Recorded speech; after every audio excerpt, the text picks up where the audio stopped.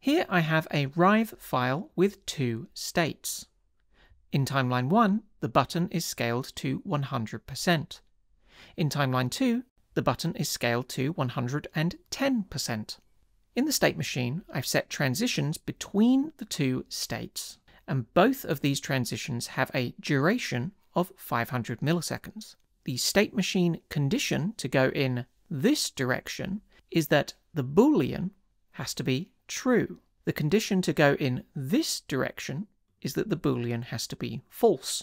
So when I press play in my state machine, I can set the Boolean to true, and back to false, and back to true, and this activates the two transitions.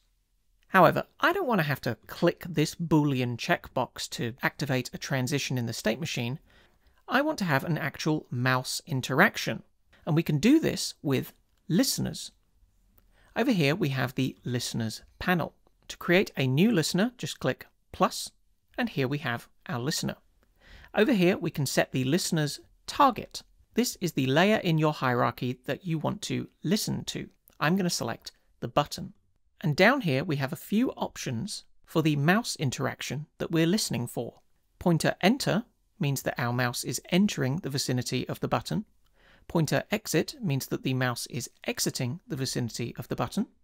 Pointer down means that we click our mouse down on the button. Pointer up means that we release our mouse click on the button. Pointer move means that our mouse is moving within the vicinity of the button. And click means that the pointer has been clicked down and up on the same target layer. In this case, that's the button. For this example, I'm just going to use pointer enter. And down here, we can set it so that if the listener hears our mouse entering the button's vicinity, then we set the boolean to true.